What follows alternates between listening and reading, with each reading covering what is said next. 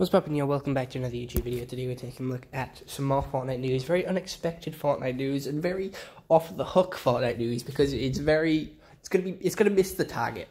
The Optimus Prime is in the Battle Pass as of right now, but Bumblebee, Megatron, and a Battle Bus, the Fortnite's very own Transformer, which is a Battle Bus um, guy. Um, they won't be coming until October uh, 13th in, in stores like public retailers, and then digitally in game on October 21st. That is when this will be available for public purchase, and um, it is Bumblebee and Megatron from the old cartoons. It is not the movie Megatron and Bumblebee, however, I do believe the movie Bumblebee has a much better design than this one. I am very much debating on getting it because it does have 11 cosmetics.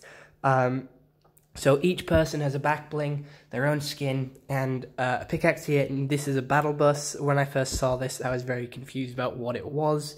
Um, I didn't remember this transformer being a thing, but I think it looks quite cool. They did quite well with making their own transformer, and it looks really badass.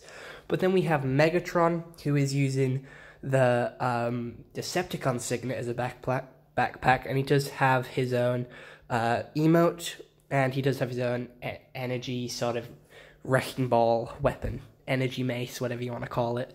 There is three backpacks, three pickaxes, three skins, two dances, and 1,000 V-Bucks. Um, here is Bumblebee's. He has a weird energy sword, and his dance is probably just to, like, pull out the sword. Nothing too special. But I don't like the look of this Bumble. I do and I don't. I like his body, I just don't like his horns. His horns are throwing me off. I don't know why Bumblebee has horns. Um, but everything about the skin looks really cool. Uh, and I'm glad we are getting a Bumblebee. Bumblebee was one I wanted from when like uh, Optimus Prime was released. So I'm just a little upset it's not the movie version. But we do have Fortnite Summer Escape coming from July 4th to July 18th. And it'll be going over like a span of two, three weeks. Where we have a lot of summer challenges, summer events, summer stuff, summer skins, summer themes, and probably summer creative maps as well. The challenges will probably cross over from creative to normal Fortnite, and um, yeah, it's Fortnite's fourth, fifth summer event. It's Summer Escape, and we do have a new Shark Tooth shotgun here, which is in the game. It does take sniper bullets, and it does use the OG pump of design with a longer nozzle. Um, and here it is. It's, it takes sniper bullets, and they do explode on impact. I do believe that is what this gun does. I'm not a big fan of this weapon. I've seen it being used.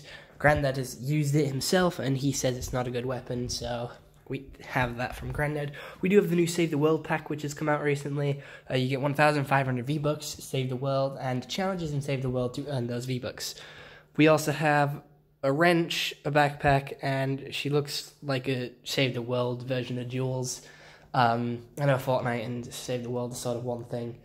But um, it just looks like a Save the World version of Jules. And then we have the 15.99 pack with 1,500 V-Bucks and challenges for your daily quest to get these V-Bucks. It comes with a wrap, a, ra- a racket, a pickaxe of a tennis racket with some spikes on it, and a Battle Pass reskin, which you can change from full anime to half anime, like those school skins that we had a couple of days ago. But other than that, I hope you all enjoyed this YouTube video. See you all next one. Have a nice day and goodbye. Stay home and stay safe. Not too much news, but some good news nonetheless.